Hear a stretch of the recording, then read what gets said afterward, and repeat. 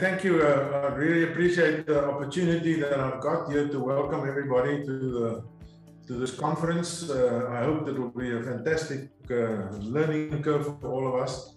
Uh, we've gone through difficult times. One must remain positive. We certainly are. The way things have going for us at Crossways the last year was amazing.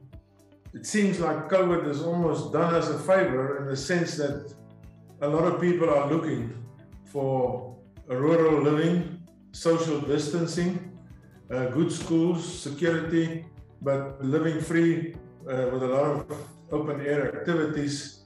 And after five or 10 years, I think it seems like we're going on the right track with what we're offering. I think there's a recipe, unbeknown to myself, who started this whole concept of farm villages or rural development 10, 12 years ago.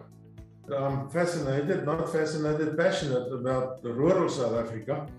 I'm passionate about the country. 40%, almost 40% of the people in this country lives in rural South Africa. And I wanted to do something in rural South Africa. Uh, and I wanted to show everybody that private initiative, private developers with a community or several communities together can take some of these impoverished villages we've got all along the Cape Province and the Western Cape, and now the Eastern and the Western Cape and North Cape. There's a lot of villages, there's a lot of opportunities there. And that's what I've done. And that's what we've done at Crossways. And we're very happy at the moment. It's going well. We've got an airstrip approved. And all of a sudden, that made a big difference. Uh, we've got small houses, big houses.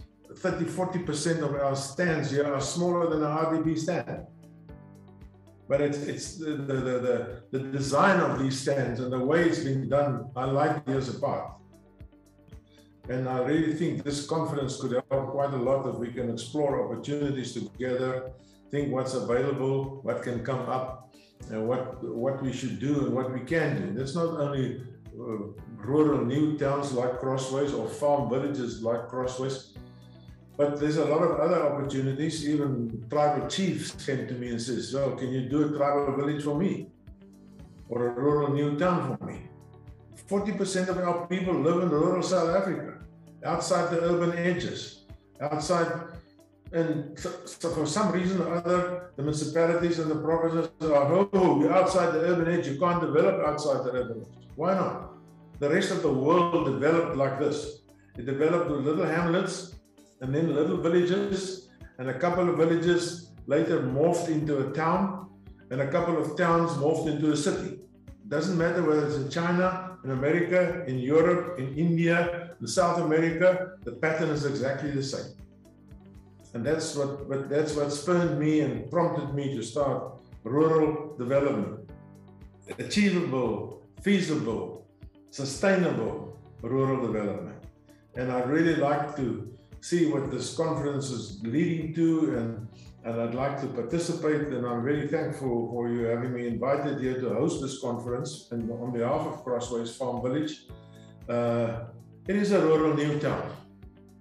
It is something that we have to start. I tried it three times in the Western Cape over the 10, past 10 years. Got my nose bloodied all the time.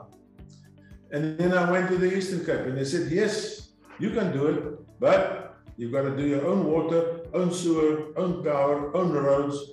We can't supply you with any bulk services. And I took up the challenge. And it's and I've learned such a lot at my age. I've learned a lot still, you know. I'm going to give it my best shot. And I hope the panel agrees with me. If they don't agree, it doesn't matter, you know. Uh, we're trying our best. We're open for, for change. We, it's an inclusive village. It's an inclusive community. It's not an exclusive community. I said right from the start when we started this, with 30, 40% of our stands smaller than an RDP stand. But come and look at it. Come and look at it. Got bicycle paths, walkways, car roadways, and pathways for the cows.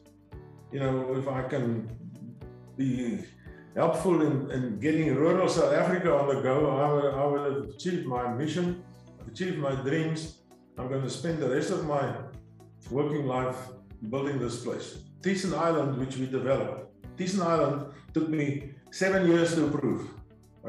I had seven years of fighting to get an approval. We built and sold 605 houses in less than seven years, creating enduring value. The prices on Thesen Island almost doubles every four years. That's enduring value. You've got to be investing in a place where the value goes, where the property value goes up, where there's increase, there's a demand for sales, where there's good let, lettabilities, good rental income, and, and, and then enduring value looks after itself. I'll elaborate later on the conference on what I think enduring value is and what it should be. But I'm totally committed to enduring value.